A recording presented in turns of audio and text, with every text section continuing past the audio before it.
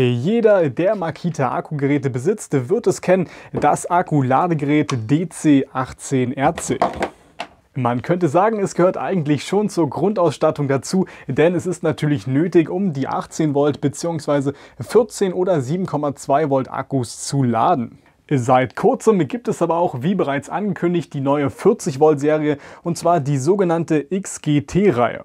Äh, damit verbunden gibt es natürlich auch wieder neue Akkus bzw. auch ein neues Ladegerät. Und zwar das DC40RA plus den Adapter bzw. die neuen Akkus. Äh, darum soll es im heutigen Video gehen. Falls noch nicht geschehen, jetzt noch schnell diesen Kanal kostenlos abonnieren und die Glocke aktivieren, um kein Video mehr zu verpassen. Und damit los geht's!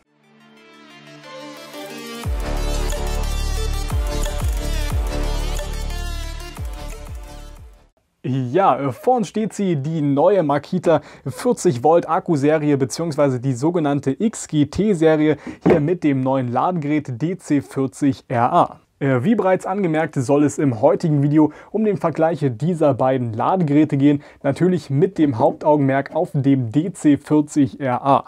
Das DC18RC habe ich ja schon einmal in einem extra Video vorgestellt. Wie gesagt, heute soll es um die 40 Volt Variante gehen, beziehungsweise auch um den Vergleich. Wir schauen uns heute beide Geräte im Laufe des Videos auch noch von innen an, sprich wir vergleichen einmal die Technik, was sich hier eventuell geändert hat.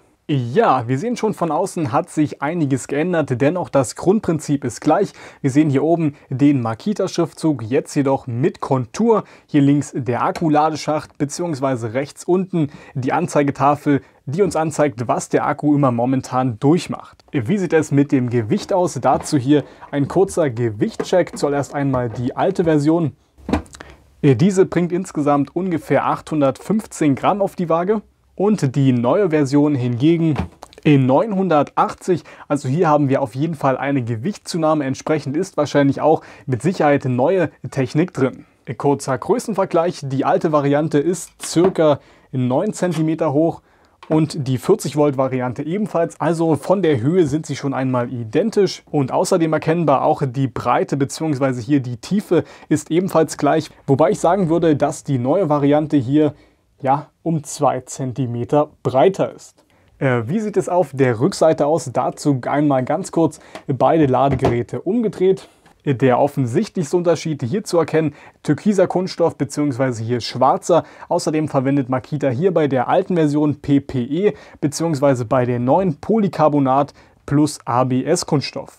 Außerdem bei beiden Ladegeräten identisch hier die vier Gummifüße, damit auch wirklich beide Ladegeräte einen sicheren und rutschfesten Stand haben. Der Vorteil, das neue Ladegerät bietet hier zwei Ösen zum Aufhängen. Dies hatte so das alte Ladegerät noch nicht. Der Abstand hier beträgt übrigens 180 mm. Damit ist auf jeden Fall für diejenigen, die das Ladegerät nicht nur hinstellen, sondern wirklich an der Wand montieren möchten, eine einfachere Montage möglich.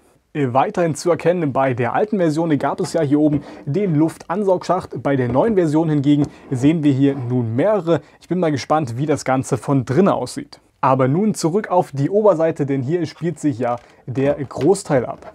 Äh, wie das bei dem alten Ladegerät so üblich war, findet man ja hier auf der linken Seite unter dem Kontaktschutz hier die beiden Kontakte für Plus und Minus bzw. hier den gelben Kontakt. Äh, dabei wird der Akku ganz einfach draufgesteckt, rastet automatisch ein und beginnt zu laden. Äh, bei dem neuen Ladegerät sieht es ungefähr identisch aus. Auch hier finden wir eine Schutzabdeckung der Kontakte und darunter nun die beiden Kontakte hier rechts und links beziehungsweise insgesamt sechs offene Metallkontakte. Auch hier identisch, der Akku wird einfach draufgesteckt, rastet ein und beginnt automatisch zu laden. Ansonsten hier zu erkennen die beiden Luftschächte, denn die Akkus werden ja aktiv gekühlt und zwar mit Luft. Das schauen wir uns aber nachher noch in der Technik genauer an. Auf der rechten Seite hingegen finden wir hier bei beiden Ladegeräten die Anzeigetafel. Bei dem alten Ladegerät brauche ich eigentlich nicht zu sagen, wir hatten hier unten drei LEDs, rot, grün und gelb und durch Blinken bzw. Leuchten wurde hier angezeigt, was aktuell der Fall ist. Bei dem neuen Ladegerät sieht es hingegen etwas anders aus. Äh, wie schon zu erkennen, wir haben jetzt nicht mehr hier diese drei LEDs, rot, grün und gelb, sondern unter diesem milchigen Kunststoff befinden sich die verbauten LEDs. direkt darüber bzw. darunter zu erkennen die ja, Modis, wie diese LEDs dann im Endeffekt blinken bzw. leuchten. Auch zu erkennen, es gibt grün, blau und rot für die Warnsignale. Direkt daneben auf der rechten Seite zu erkennen die unterschiedlichen Situationen, die uns dann das Ladegerät ausgibt. Ganz oben bedeutet langsames grünes Blinken, wie es momentan der Fall ist. Das Netzteil bzw. das Ladegerät hängt am Strom. Darunter also langsames blaues Blinken in der gleichen Frequenz bedeutet, es gibt Temperaturprobleme. Entweder ist der Akku zu kalt oder zu heiß. Schnelles blaues Blinken hingegen bedeutet, der Akku lädt. Kontinuierliches blaues Leuchten heißt, der Akku ist so gut wie voll. Und wenn das Ladegerät grün dauerhaft leuchtet, heißt das, der Akku ist komplett voll und kann entnommen werden. Und natürlich die nicht so schönen Situationen, die trotzdem passieren können. Wenn zum Beispiel hier der Akku defekt ist, leuchtet das Ladegerät kontinuierlich rot, beziehungsweise wenn es Probleme mit dem Lüfter gibt, rot und blau abwechselnd. Im direkten Vergleich sieht man aber, die neuen LEDs bzw. die neue Anzeigetafel ist wesentlich heller. Bedeutet, wenn man hier den Akku einmal ransteckt, könnte man denken, man befindet sich hier am Flughafen. Und das Ganze ist wirklich nicht übertrieben, denn die LED ist wirklich hell. Tja, das neue Ladegerät im Schlafzimmer ist also keine so gute Idee, aber es wäre auch andererseits gar nicht möglich gewesen, denn ihr hört es schon, das Ladegerät ist auch nicht unbedingt leise. Äh, deswegen hier ein kurzer Lautstärkevergleich. Ich habe einmal hier das Dezibel-Messgerät und wir beginnen einmal mit dem alten Ladegerät. Ungefähr 20 cm Abstand um die 52 Dezibel. Und nun das neue Ladegerät.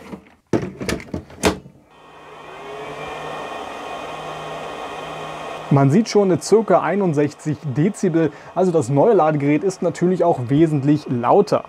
Woran das liegen könnte, werden wir gleich noch sehen, wenn wir beide Ladegeräte aufschrauben. Ich habe nämlich hier schon eine Vermutung. Was meiner Meinung nach auch noch sehr interessant ist, ist die Frage, was kann ich denn nun mit dem neuen Ladegerät überhaupt laden? Äh, dazu vielleicht erst einmal der Vergleich. Das alte Ladegerät bekommt man ja eigentlich schon überall hinterhergeworfen, sprich maximal 50 Euro. Den muss man hier vielleicht auf den Tisch legen. Das neue Ladegerät hingegen kostet um die 100 Euro, also das Doppelte. Äh, dazu dann natürlich noch den Akku, also hier wird man auf jeden Fall arm. Äh, dazu dann aber im Video von dem eigentlichen Akkuvergleich mehr. Trotzdem noch einmal die Frage, was kann ich nun hiermit laden? Hier steht es auch nochmal 7,2 bis 18 Volt mit dem DC18RC, also 18 Volt Akkus beliebiger Kapazität, aber auch hier 14 Volt Akkus. Äh, diese Akkutypen sind natürlich bei keinem der Ladegeräte möglich. Schade. Eigentlich auch logisch, da es zu dieser Zeit, als die Ladegeräte hier rausgekommen sind, die 40 Volt Serie so noch gar nicht gab, ist es entsprechend auch nicht möglich, die 40 Volt Akkus hier an dem DC18RC zu laden. Äh, dazu benötigt man zwangsläufig das neue Ladegerät und zwar das DC40RA. Und jetzt stellt euch einmal vor, ihr habt 18 Volt Geräte, braucht dafür dieses Ladegerät, kauft euch neue 40 Volt Geräte und benötigt noch ein Ladegerät. Um das Ganze ein bisschen aufzulockern, gibt es hier von Makita den sogenannten Ladeadapter und zwar den ADP10. Und zwar ist durch dieses kleine Teil, naja, was heißt klein, es ist ungefähr so groß wie ein 18 Volt 5 Ampere-Stunden Akku, möglich, auch 18 Volt Akkus an dem 40 Volt Akku-Ladegerät zu laden. Äh, denn wie wir gesehen haben, hier an das 40 Volt Ladegerät passen wirklich ausschließlich auch 40 Volt Akkus. Äh, wäre aber etwas umständlich, wenn man hier wie gesagt nur 40 Volt Akkus laden kann. Deswegen hier dieser Adapter. Ihr seht es hier schon 40 Volt Max zu 14,4 bzw. 18 Volt. Äh, dabei bildet dieser Adapter sozusagen die Schnittstelle. Auf der einen Seite finden wir hier praktisch ein 40 Volt Akku und auf der anderen Seite die Fassung bzw. den Schacht für 18 Volt Akkus. Damit wird der Adapter ganz einfach auf das Ladegerät draufgesteckt und rastet auch wie ein normaler Akku ein. Und danach kommt hier der 18 Volt bzw. der 14,4 Volt Akku rein. Und damit beginnt das Ladegerät ganz normal den Ladevorgang, obwohl es in diesem Fall kein 40 Volt Akku ist. Ob das Ganze jetzt schön ist mit diesem riesigen Turm hier, sei einmal dahingestellt. Auf jeden Fall ist es aber praktisch, dass man hier neben den 40 Volt Akkus auch 18 Volt bzw. 14,4 Volt Akkus laden kann. Ebenfalls mit diesem Adapter hier, ob das Ganze so schön ist oder nicht, sei mal dahingestellt. Ihr könnt ja gerne einmal eure Meinung in den Kommentaren kundtun. Bevor ich es vergesse, und zwar gibt es an dem neuen Ladegerät ebenfalls eine Ton- oder Musikfunktion, die es ausgibt, sobald der Akku voll geladen ist. Genauso wie auch beim alten Ladegerät ist hier das Prinzip identisch und zwar steckt man den Akku in das Ladegerät, zieht ihn wieder raus und steckt ihn anschließend wieder rein, um in die nächste Melodie zu springen.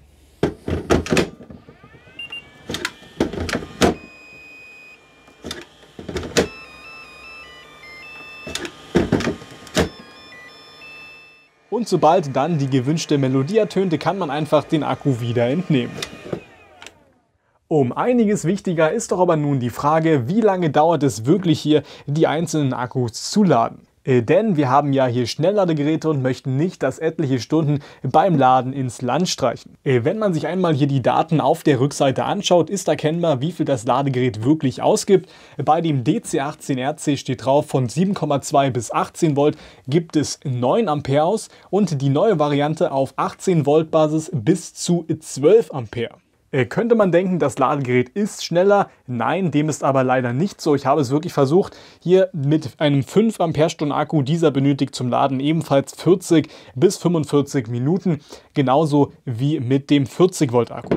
Das neue Ladegerät würde es natürlich schaffen, hier den 5 Ampere-Stunden Akku in der Hälfte der Zeit voll zu pumpen, da es ja auch hier den 4 Ampere-Stunden 40 Volt Akku in 45 Minuten schafft. Aber ob das Ganze so gut ist für den Akku, sei dann einmal dahingestellt. Deswegen auch hier 45 Minuten für den normalen 18 Volt 5 Ampere-Stunden Akku.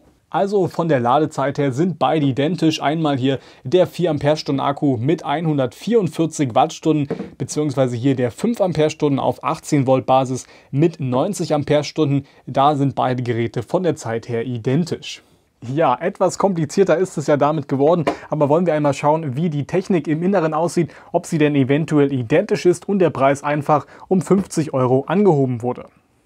Ja, angekommen in der Werkstatt wollen wir nun einmal schauen, ob hier oder beziehungsweise was hier für neue Technik in dem Ladegerät drinsteckt im Vergleich zu der alten Version. Das alte Ladegerät werde ich im heutigen Video nicht noch aufschrauben. Hier habe ich ja schon einmal ein extra Video zugemacht. Heute wirklich nur die neue Version. Also das Ladegerät kann erst einmal beiseite und zum Öffnen des neuen Ladegeräts finden wir genauso wie auch bei der alten Version hier auf der Unterseite einmal vier Gummifüße und darunter die Schrauben, denn wir können hier ganz einfach die Gummifüße rausnehmen. Die sind einfach wirklich bloß draufgesteckt. Und nachdem wir alle vier Gummifüße entnommen haben, sehen wir darunter auch schon die vier Kreuzschrauben. Auch hier bis jetzt keine Verplombung oder ähnliches. Mal sehen, ob da noch was kommt. Und dann können wir auch schon das Ladegerät öffnen, aber leider noch nicht komplett abnehmen, wie man sehen kann denn wir haben hier die beiden stromführenden Kabel, also Plus und Minus, beziehungsweise hier das Datenkabel, was dann sozusagen den Transfer zwischen Akku und Ladegerät herstellt. Diese sind zum Glück ganz einfach draufgesteckt und können damit einfach entfernt werden. Und nun können wir uns auch schon einen Überblick über die Technik verschaffen und wie ich vermutet habe, es gibt genau zwei Lüfter. Äh, dadurch entsteht natürlich der höhere Geräuschpegel, aber es ist wahrscheinlich auch nötig, um diese Energie hier, die an Wärme entsteht, abzuführen. Äh, dafür finden wir einmal hier unten den kleinen Lüfter für das aktive Kühlsystem des Akkus. Äh, dabei befindet sich auf der Unterseite hier der Luftansaugschacht, wo die Luft von dem Lüfter angesaugt wird und diese wird anschließend dann hier durch die Öffnung in den Akku geblasen, damit dieser aktiv gekühlt werden kann. Äh, denn durch dieses aktive Kühlsystem, wie wir es hier sehen, beziehungsweise natürlich auch schon bei der alten Version, ist es überhaupt möglich, erst die Akkus so schnell zu laden. Und der andere Lüfter befindet sich schon, wie wir sehen können, hier am hinteren Ende des Ladegeräts und ist auf den Travo bzw. hier die Kühlrippen gerichtet. Äh, denn der Travo bzw. eigentlich alle Bauteile hier drin, wie zum Beispiel Transistoren, Dioden etc., werden natürlich bei dieser Stromstärke ziemlich warm und müssen dadurch auch gekühlt werden. Ansonsten, was sehen wir hier noch? Natürlich die drei LEDs, rot, grün und blau, die dann hier oben auf der Anzeigetafel ausgegeben werden. Und dann auf der Seite, wo hier die höhere Spannung fließt, haben wir zum Beispiel hier noch einen großen Elektrolytkondensator, mehrere Keramikkondensatoren, ähm, mehrere Spulen etc. Und ansonsten, wie auch bei der alten Version, hier eine kleine Keramiksicherung ist das wahrscheinlich. Falls das Ladegerät nicht mehr funktioniert, sollte man diese auf jeden Fall prüfen. Im direkten Vergleich, wenn man das Video zum DC18RC gesehen hat, haben wir auf jeden Fall hier mehr Kühlrippen, denn es muss ja mehr Wärme abgeführt werden. Auch zum Beispiel hier unten schön zu sehen. Und ansonsten vom Aufbauprinzip hat sich auch hier die Technik etwas geändert, aber im Großteil ist es auch identisch. Und damit heißt es wieder zusammenbauen, beziehungsweise bedanke ich mich an dieser Stelle fürs Zuschauen. Falls dir das Video gefallen hat, beziehungsweise du einige Informationen mitnehmen könntest, würde ich mich freuen, wenn du diesem Video einen Daumen nach oben gibst und den Kanal kostenlos abonnierst, falls noch nicht geschehen. Der aktuellste Preis dieser Ladegeräte, beziehungsweise insgesamt der 40 Volt Technik, packe ich einmal unten in die Videobeschreibung. Äh, vielen Dank für deine Unterstützung und bis zum nächsten Mal. Tschüss.